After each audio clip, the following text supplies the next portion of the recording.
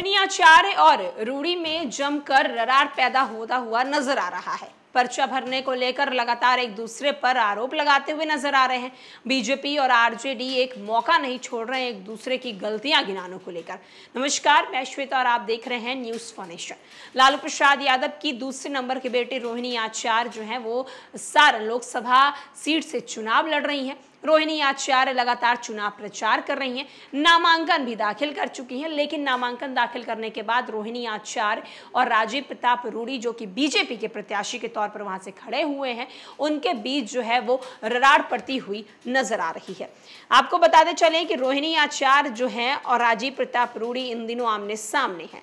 सारण संसदीय क्षेत्र में दाखिल नामांकन पत्र में शनिवार को हुई जाँच के दौरान गहमा गहमी रही। निर्वाचन पदाधिकारी और डीएम शंभू शरण पांडे के समक्ष भाजपा प्रत्याशी राजीव प्रताप रूड़ी और राजद के प्रत्याशी रोहिणी आचार्य की ओर से एक दूसरे के नामांकन पत्र को गलत तथ्यों का दावा करते हुए आपत्ति जताई गई।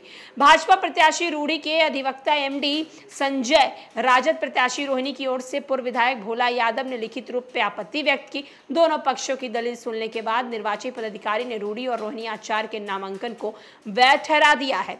हाई कोर्ट के अधिवक्ता एमडी संजय ने भाजपा की ओर से लिखी शिकायत में कहा है कि रोहिणी आचार्य का पता गलत है। जो विवरण दिया गया है, वो रिकॉर्ड में गलत है। रोहिणी की आय शपथ के दिन गए विवरण के अनुसार किसी साल चार हज़ार तो किसी साल डेढ़ लाख और किसी साल ढाई लाख है। उनके पास नगद बीस लाख और पति के पास दस लाख है। चल संपत्ति तीन करोड़ की है, इसका कोई स्रोत्र नहीं बताया गया। मुंबई में पच्चीस करोड़ में फ्लैट का ज़िक्र किया गया। आयकर विवरण ने जब दो लाख और तीन लाख सालाना आए तो इतना महँगा फ्लैट कहाँ से आया? नामांकन के समय दिए गए शपथ शपथ पत्र के तथ्यों को छुपाने का आरोप लगाया गया। पूर्व विधायक भोला यादव ने लिखित रूप से शिकायत की और कहा, राजीव प्रताप रूड़ी के पिता के नाम में मतदान सूची और शपथ पत्र में गलती है। फॉर्मेट छब्बीस कॉलम में ग्यारह, बारह, पंद्रह को खाली छोड़ा है।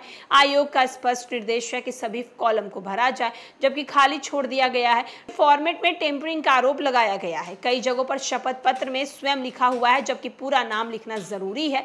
इसके अलावा पत्नी का नाम भी छूटा है। शपथ पत्र में शून्य की जगह एन, ए लिखा हुआ है, जबकि लागू नहीं है कि शून्य का ज़िक्र करें।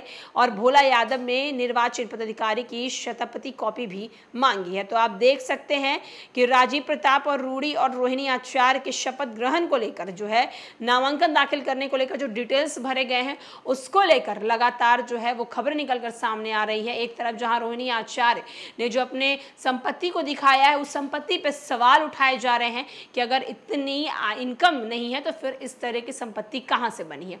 अब देखना होगा कि अब इसको लेकर आने वाले दिनों में रोहिणी आचार्य राजीव प्रताप रूढ़ी की मुश्किलें बढ़ती हैं वह कम होती हैं। फ़िलहाल के लिए इस में इतना ही।